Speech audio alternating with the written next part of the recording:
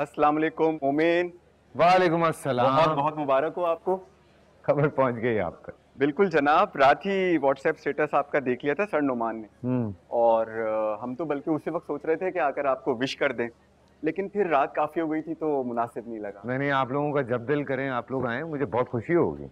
जनाब ऐसे काम नहीं चलेगा। मैं और सर नुमान अब आपसे एक अदर ट्रीट लेंगे। ये क्या बात कर दी आप? बंदा हाजिर है जब बोले आप। बिल्कुल बल्कि मैं सर नुमान को देखता हूँ अगर उनका फ्री पीरियड है तो अभी चलते हैं कैफ़े श्योर बस मुझे दो बुक्स देखनी है। बिल्कुल ठीक है? बिल्कुल, I'll be श्योर ऐसी क्या बात है? एक उनका व्हाट्सएप स्टेटस सेपरेट कहीं शादी वादी तो नहीं करती? ये भी तो हो सकता है कोई मजीद अच्छी जॉब मिल गई हाँ। हो सकता है।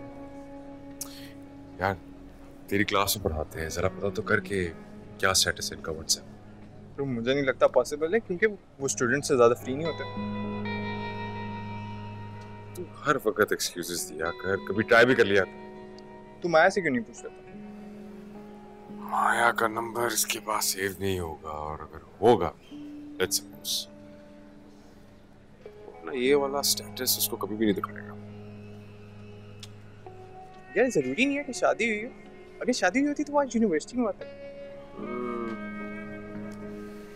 तो मुझे पता लगाना है कि इसका व्हाट्सएप स्टेटस क्या है।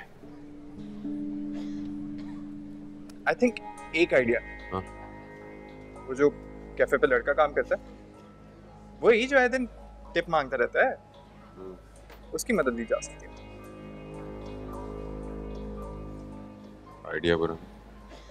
चला चेक करते हैं। परी किस तकल्लुफात में लग गई तुम? तकल्लुफ की क्या बात है? भाई की मंगनी हो रही। आपका मुँह तो मीठा कराना था ना। ये लीजिए। चलो, ठीक है। हाँ लेकिन मैं तो एक दो पीस नहीं लूँगा। मैं तो सारी मिठाई लूँगा।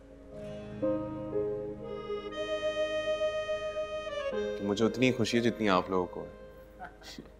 मैं जानता भी हूँ ना कि मोमिन कितने दुख से गुजरा है।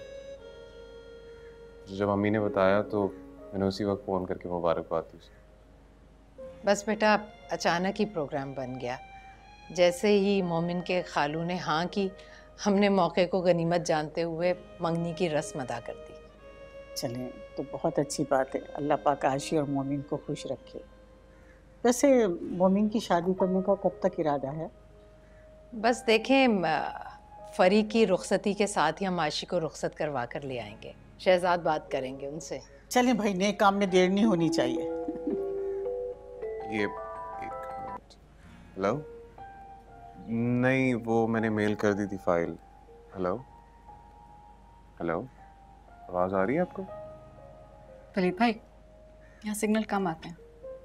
बाहर जाएँगे तो फुल सिग्नल आएँगे।